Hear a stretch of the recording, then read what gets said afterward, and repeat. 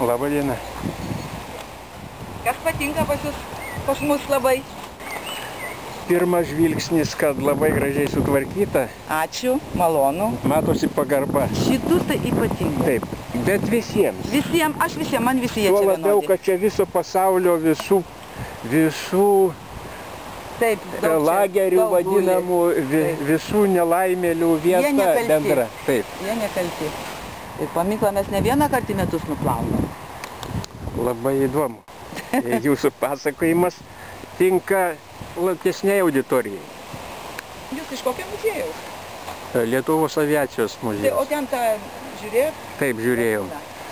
Stankevičių. Taip, Stankevičių. Bet ten jį prižiūri daugiau nu, giminės. Tai mes, nu kaip, pasakyt, me, mes jau giminės yra sunus ateina, malonus toks žmogus. Tai giminės prisižiūri. Bet šiaip tai, nu, jauname, čia vis, nu mes čia prižiūrim. Bet ir Darių vokai sutvarkėm gražiai, šį čia sodinom gėlės. Darius dabar bus gra- gražu.